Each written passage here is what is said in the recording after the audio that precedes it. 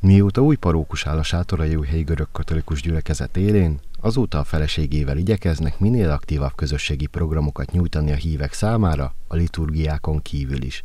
Már több eseményt is szerveztek az elmúlt hónapokban, így ebbe a sorba kiválóan illeszkedik a júliusra tervezett napközis táboruk, ami egyben segítség is, hiszen a szülők számára megterhelő a nyári gyerekfelügyelet megoldása. Szerettünk volna a szülőknek segíteni abban, hogy a kb. 10 hetes nyári szünetet egy héttel mi is támogassuk parókiális szinten.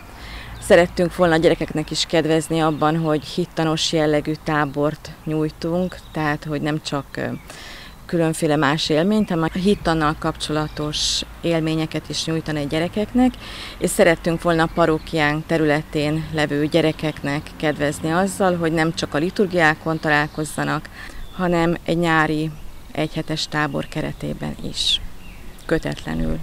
A tábor célja, hogy egy részről hitéleti is legyen, hisz nagyon fontos a fiatalok számára is a hit megélése, viszont egyéb programokat is szeretnének, mint a Miskolci állatkert meglátogatása, vagy kézműveskedés Vámosújfalun. Mindenképpen szeretnénk keretet adni a találkozóknak. Minden reggel, amikor találkozunk, akkor imával kezdünk, illetve zárjuk a napot. A programjainkban is szeretnénk a hittel kapcsolatos élményeket nyújtani. Például az első nap, amikor megismerkedünk egymással, azt is szeretnénk egy ilyen hittanos jellegű közösségi játékkal színesíteni, illetve kedden szeretnénk elmenni Miskolcra, ahol megtekintjük az állatkertet, és utána pedig a Miskolci Egyházmegyének a központjában a Székes Egyházat szeretnénk megtekinteni, amit most újítottak föl, és a gyerekek közül sokan nem is látták még ezt a helyszínt.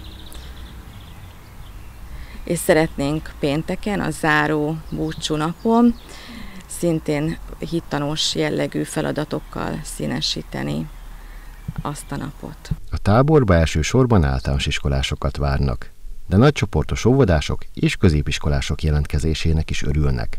Nem szükséges az sem, hogy valaki görög-katolikus felekezetű legyen. A táborról többet lehet megtudni a Sátorai újhelyi parókián, vagy a parókia közösségi média oldalán.